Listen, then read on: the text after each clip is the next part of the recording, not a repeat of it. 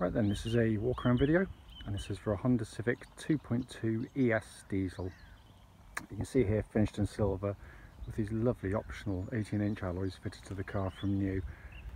Uh, just 73,000 miles on this particular car and it's a really very very nice example. Um, come around the front of the car first for you. lights and lenses completely clear, intact, there's no cracks or condensation in those at all. Front of the car is very very clean indeed. You have to look very hard to find a sort of stone chip. There will be the odd one or two very, very minor ones, but nothing to write home about. Then to come down, sorry that's just a leaf by the way, so I don't think it's anything more than that. Um, come down the near side of the car first, really smooth in the panels. Let's say it's a lovely, lovely looking car.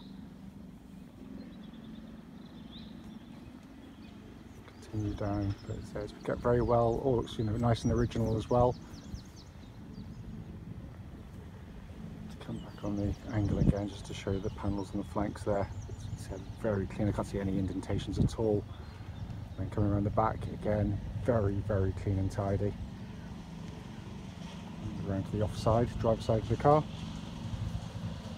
Again offside panels as with the near side pretty much mirror smooth on those panels. Can't see any indentations at all.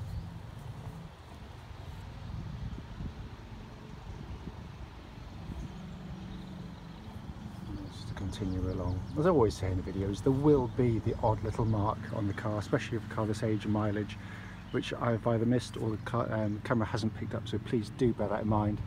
Uh, but this is a really lovely example. It really is Coming into the back of the car, they have absolutely huge boots on these Civics. Obviously you get the 60-40 fold on the rear seats um, and that boot uh, floor can be dropped down to um, allow an extra 8 inches of uh, boot depth there as well. It's coming into the back of the car now, rear doors open virtually at 90 degrees which give you great access especially when you've got the um, rear seats raised like this to which is part of this brilliant magic seat affair uh, it's just so well done it's in lovely condition back here as well drop the seats down, literally just pull them up like that, drop them down. It's that simple. With the seats down, you can see just how nice and clean and tidy it is back here. Uh, all the seat fabric's in lovely condition. And I'm not cheating, the uh, leg room is amazing in these cars. And I've got those uh, front seats set for me and I'm over six foot tall. So coming to the front passenger side now, all the little recesses of the door cards absolutely lovely as they are, and all the four door cards footwell area is lovely and clean and tidy.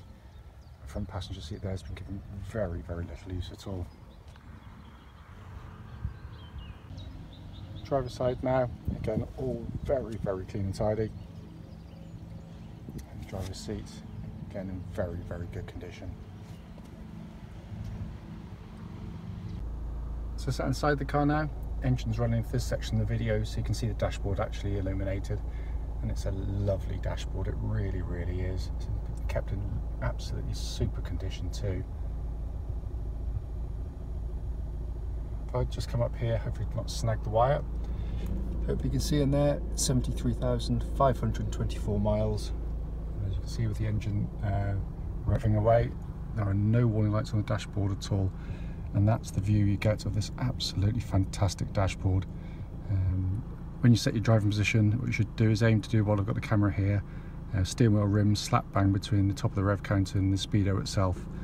Uh, but there's not another view that you get as a driver in this, this particular sector of the market. I think this is a just genius it really is.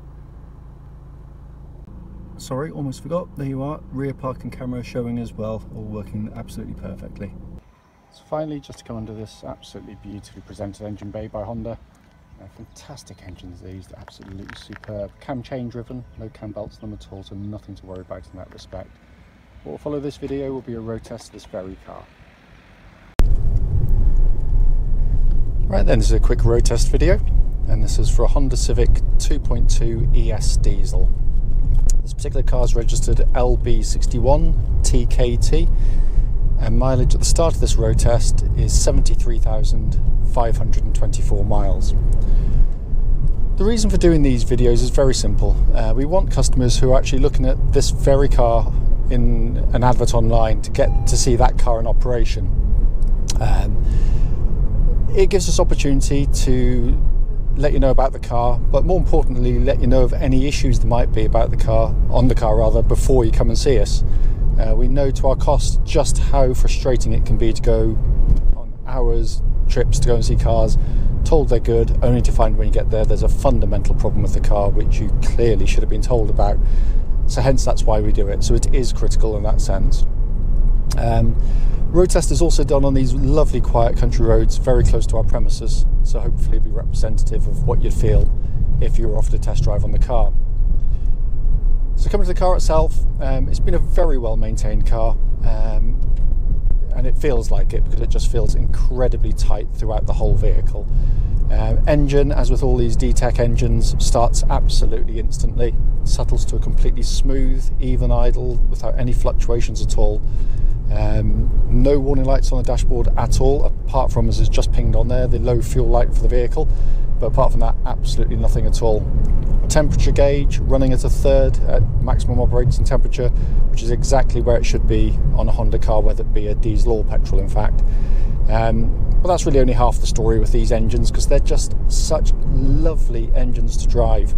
Quite often, turbo diesels. Um, the power delivery can give you kind of nothing to begin with and great surge of power and then nothing else after that it just drop off a cliff these have got a lovely linear power delivery that spreads its power through a nice wide uh, rev band so you don't get these peaks and troughs in power um, it's and it also does it so smoothly and so refined um, literally, apart from only probably first gear, you'd swear blind you're driving a petrol car. They're so, so um, refined in operation. Um, and obviously, hugely economical as well. I've had many of these cars. If you drive them like a hooligan, you can eat into the fuel as any car. If you drive them with any kind of um, sensitivity, you know, over 60 to the gallon is actually readily and easily achieved. Engine then feeds through clutch and into gearbox. Clutch on the car, absolutely perfect. Smooth, silent in operation. Bite point is exactly where it should be on the pedal travel as well. So all good there. Gearbox, and again I've made the point on many of my previous videos on this generation Civic, is it's just a real class act. Because um, Honda, like all manufacturers who use front wheel drive these days, or most of them, use cables from the gear lever here to the gearbox under the um, engine bay. Uh, but unfortunately, with some cars, that means you get you know perfectly adequate gear change, but they can be lifeless, vague, notchy, all those kinds of things. And this is the polar opposite of those because it is just got, a real feel of engineering integrity to it. It's got a lovely, slick, precise action to it. You'd feel as though you're going straight into a gearbox, not to you know a gearbox sort of three or four feet away. Um, and but they've given it you know an actuation that feels machined it's just brilliant and there's no wear in this at all steering on the car on this generation Civic lovely weighting on the steering wheel um, very precise in operation very accurate matched and matches the chassis absolutely perfectly by the way exactly the right steering ratio to the uh, what you want um, it also tracks absolutely bullet straight. There's no vibrations at all that come back through the steering wheel at this speed or any speed up the legal limit. I'll talk about the chassis in a minute. but I'm going to give the brakes a bit of a shove now. Just let leave it a little bit later than I should, and they're really good. But again, what I'm looking for the brakes, by the way, is just the obvious stuff, which is when you hit the brake pedal, A, they should be powerful, B, it should pull the car down um, up straight, not veering violently left or right. Um, and also, there shouldn't be any pulsing or vibrations coming back through the brake pedal, and there's nothing on this car at all. They're all in very, very good order. Coming back to the chassis of the car, what I'm looking for on these road tests is, you know, when you hit a bump in a car, you'll hear it hitting a bump no matter how refined the car is but you shouldn't get any kind of secondary noises coming back up through any kind of tra- chattering or mechanical knocks at all. And there's nothing on this car. Most of those things, by the way, are quite innocent. They're normally just little um, drop links chattering away, but this is absolutely silent in that respect. And it is a fantastic chassis. It rewards those who, you know, enthusiastic drivers with a really um, well controlled, you know, go through corners like this, hardly any body angle uh, lean rather maintains its composure absolutely brilliantly, even with sort of mid-corner bumps. Um, but what it does better than the previous generation by a long way, by the way, is its um, absorption of the sort of the, the sharper bumps on the road because this is a very very very comfortable car to drive around and as comfortable as anything in its class in my personal opinion. I think a, they've done a, just a brilliant brilliant job on it. They really have. Um, just checking cruise control. It's all perfect again. Um, looking around inside the car in really, really very good condition in here, and what a fantastic dashboard they are.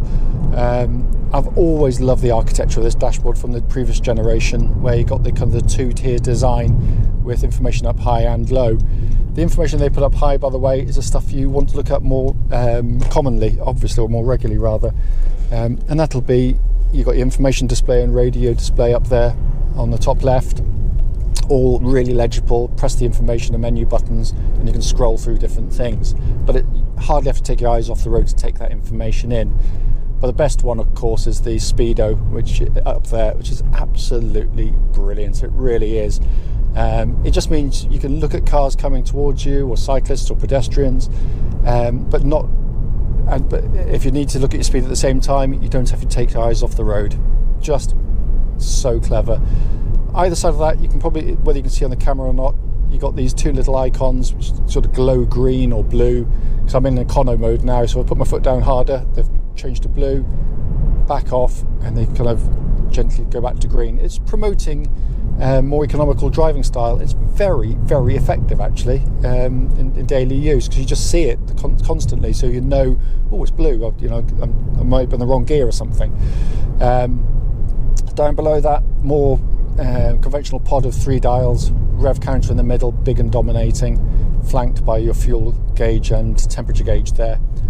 Steering wheel looks and feels pretty much as new in hand. Obviously, it's multifunction, so you've got your information display on the left hand side, cruise control on the right, and hands free functions down on the uh, bottom left there. Um, but it all works absolutely beautifully. Air conditioning pumps out absolutely ice cold air, that's all been checked. But the car's superb. It really, really is. Um, and as I alluded to at the start of the video, the point of it being that we pick up on any issues for you. Rarely are there any, but occasionally there are, and there's nothing on this car at all.